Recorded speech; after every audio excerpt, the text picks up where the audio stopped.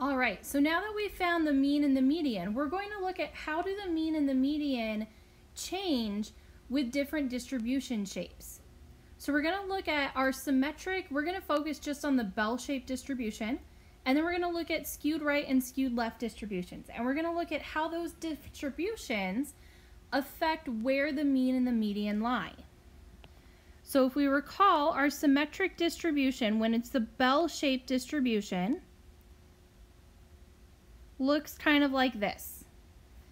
Okay, so remember the bell-shaped distribution, the highest point under of that histogram is in the middle, and then you have tails on the left and the right of about equal length and equal kind of like speed of decreasing. So when we have a symmetric distribution, the mean is going to be right in the middle. Here's the mean. And the median is also going to be right in the middle. They may not be exactly the same value, but they're going to be relatively close.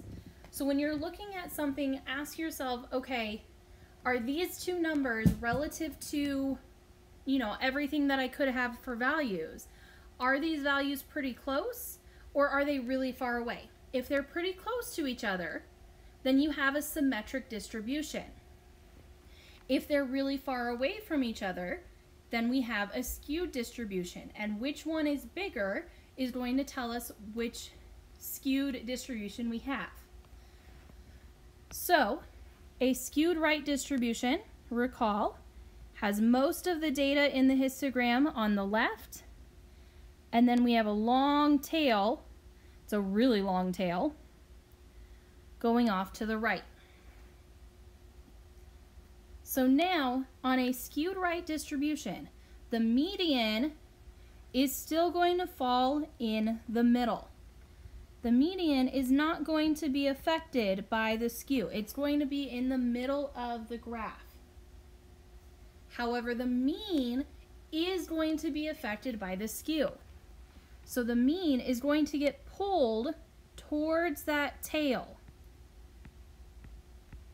So when you have a skewed right distribution, the mean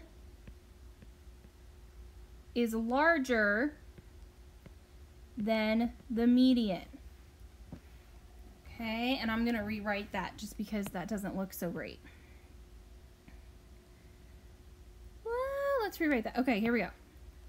So we have the median, and we have the mean, and the mean is the bigger one.